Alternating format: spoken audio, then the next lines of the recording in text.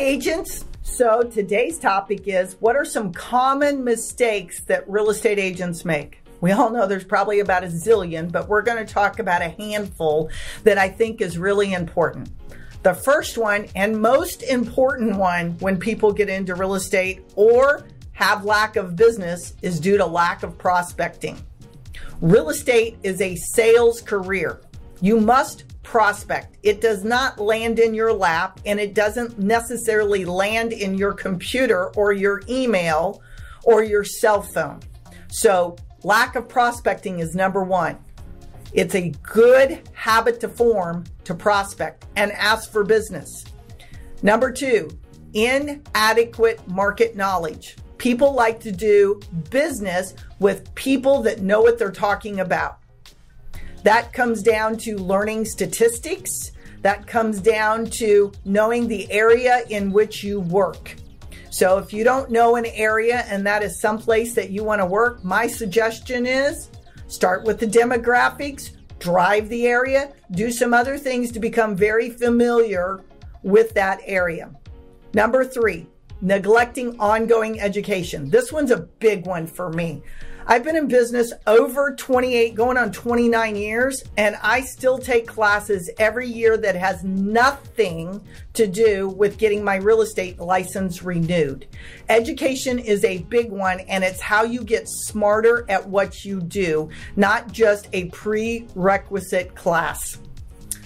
Number four, and this one is a big one. This is the biggest complaint we have of us from the public is lack of communication.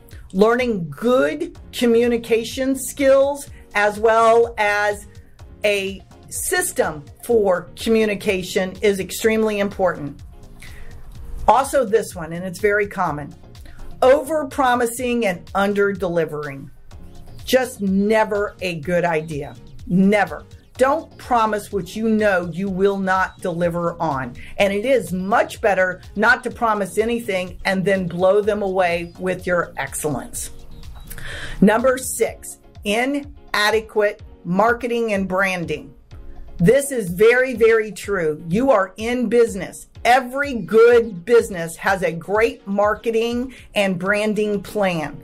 Most agents lack at this completely even when you work for a broker, it is not your broker's job to do all that for you. You are an individual, and individual business. It is important for you to work on that on your own as well. Number seven, lack of organization. This is how you multiply what you can do. Organization is key. Systems are key. It's how you can do more and accomplish more without being overwhelmed. Number eight, not building a professional network. This is really important as well, not just in real estate, but in other fields. Develop that professional network. Number nine, ignoring the importance of negotiation skills. And boy, over the years, I have seen some very poor negotiation skills, which absolutely astounds me when someone is helping someone spend the most amount of money ever.